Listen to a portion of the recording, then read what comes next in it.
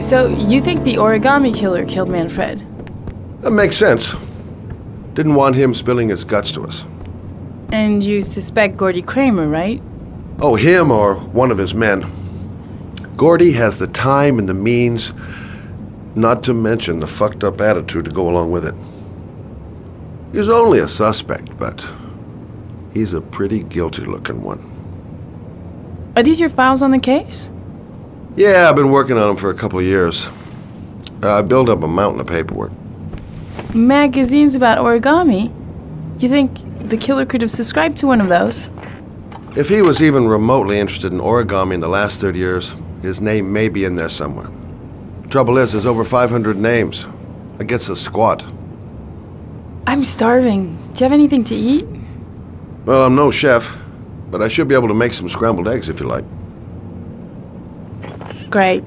I'm soaking wet. I need to warm up a little. Is it okay if I take a shower? Well, be my guest. Go in my bedroom, it's the next door. Oh, I'll cook up the eggs while you're under the shower.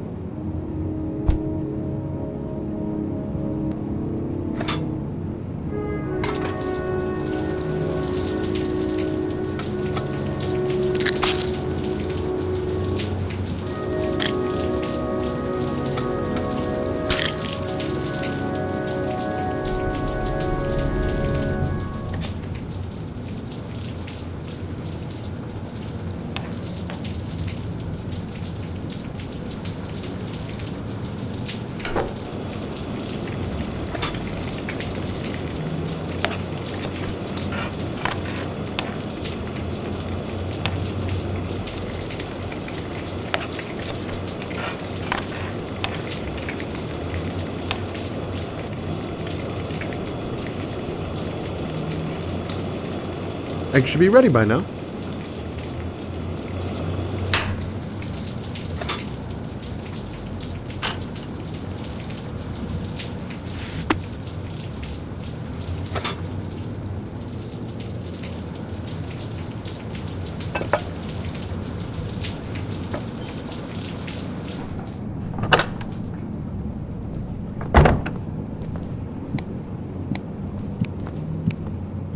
I took the liberty of borrowing your bathrobe. Looks better on you.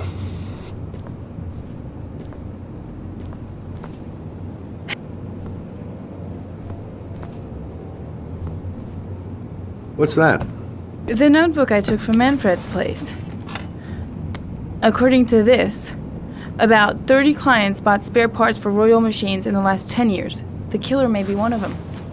Oh, you know, checking out the alibi of 30 clients one by one, that's a lot of legwork. Except that if we cross check them with the list. The list of subscribers to origami magazines. You still got that, right? Yeah, yeah, of course. Lauren, wait.